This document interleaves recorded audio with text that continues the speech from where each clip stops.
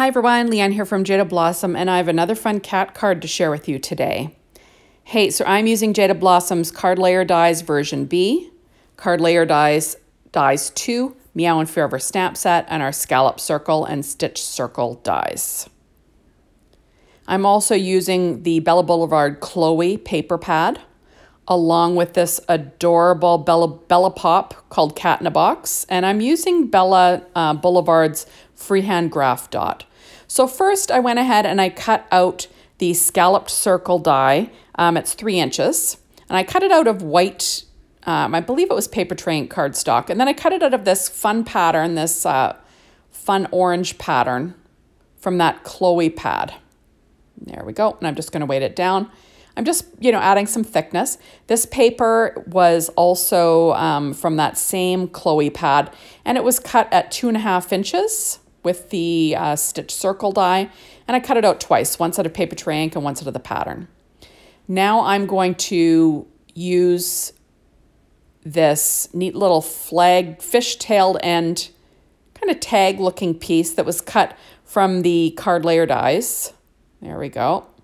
And then I cut out a border a quarter of an inch larger and I literally just did it freehand and I used a gray um, paper, that freehand graph dot, the dot side. Now I'm going to add in some border paper from that same Chloe pad from Bella Boulevard to the inside. And I just cut out a few of the, you know, different borders together just to make it a little bit thicker. Now this piece is from that um, card layer dies again. I think that's card layer dies 1 version B. I, I think anyway. And I cut it out of that little paw print paper from that same um, Bella Boulevard Chloe pad. And then you'll see what I'm going to do here. So first I will assemble the circle and the scalloped circle. Just trying to make sure the patterns are straight. It says kitty cat all over that blue pattern, which is kind of fun. There we go. And then I'm going to stick that down. But first I'm going to do a little trick and you can see what I'm going to do here. Now I'm working on an A2 size card base cut at 4.25 by 11, scored at five and a half inches from Papertrey ink white cardstock. Okay, so I'm gonna cut this little tag. There we go. I'm going to stick the top down. No one will know, will know, it'll be hidden. And I'm gonna stick that down right on the seam, right on the carved fold. Then I'm going to pop my super cute little circle to cover it up. And it'll make it look like this tag runs right through both sides of that circle, but only you and I know that I've spread it a little bit, right? There we go. Using my ATG tape. And now I'm going to stick down this little circle. There we go. Kind of fun, right? I think it turned out super cute. Now I'm pulling out some yellow dot paper from that uh, Bella Boulevard freehand graph dot, obviously the dot side, and I'm stamping with my MISTI using VersaFine Clair Nocturne ink. And I'm stamping the sentiment, congratulations on your new fur baby. So it's like a welcome your, you know, welcome to the new kitty cat card. There we go. Kind of fun, right? And I'm using um, our mini tags dies three. I'm going to use those fish-tailed tags. And I'm going to cut this, you know, cut it out with a smaller one. And then I will cut out a larger one out of that little black and gray paw paper again. There we go. I'm going to run that through my Gemini machine. I like to tape it in place with some washi when it runs through. You just don't want it to move once you've already done your stamping. Now I'm going to cut it out or in, in some Papertrey ink white cardstock again. I'm just trying to give, you know, you know, give my tag some layers, right? My sentiment. And I did the same thing with the larger piece. So I'm going to take my art glitter glue and I'll stick down the little black pattern kitty pop piece there. There we go with some art glitter glue and I will weight that down just so it can dry flat. And then I'll do the same thing with this yellow tag from the Mini Tag Dies 3. There we go. And I'm going to weight it down as well. Now I'm pulling out this little Bella Pops cat. It's called Cat in a Box BB2279 is the number. It is sticky on the back, but I do add a little bit of glue just in case. And I'm taking my reverse tweezers and I'm going to stick that down at the bottom of the circle. Isn't that cute?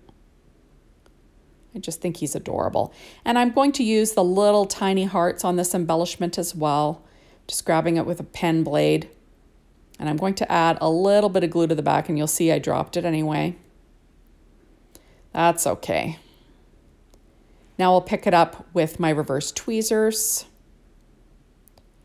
And I'm just trying to figure out where my little hearts are going to end up. There we go. And I just think this is super cute. You got to love these little pops these um, companies are coming out with. Obviously, Doodle Pops, you know, from Doodlebug are awesome. Bella Pops are super cute. And they make for a really fast card when you use them with Jaded Blossom sentiments and their die cuts, right? Like how fast was this? There we go.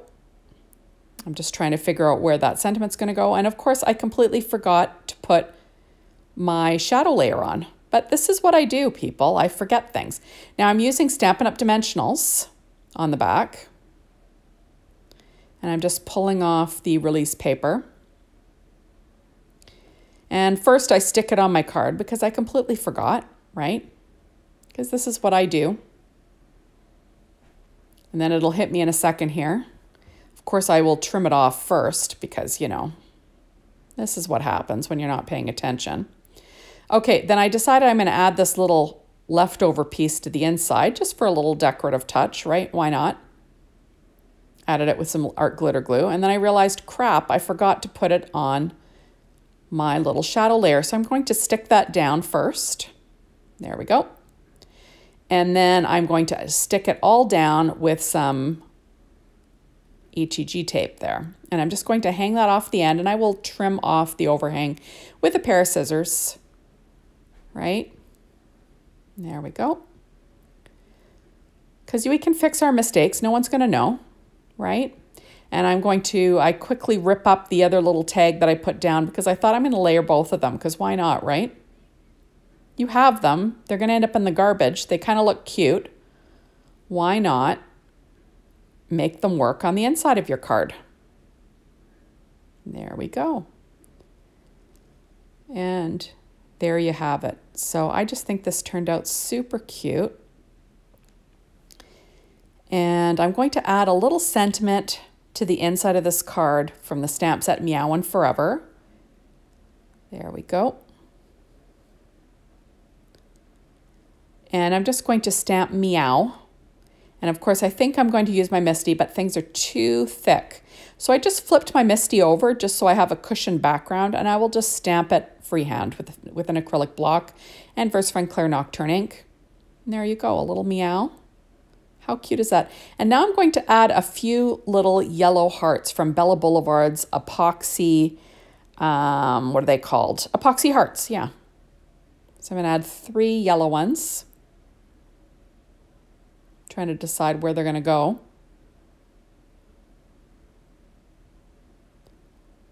And there we go. So super cute stuff. And I decided to add a little piece of this black paw paper because, you know, I cut the whole sheet out using that card layer dies one version B, I think it's called. So anyway, that's all. So thank you so much for stopping by. Be sure to hop on over to the Jaded Blossom blog, Be Inspired, the Jaded Blossom store to get your hands on these amazing products. And thank you as always for watching my videos. I appreciate it. And hopefully we will see you soon in my next one. Bye everyone.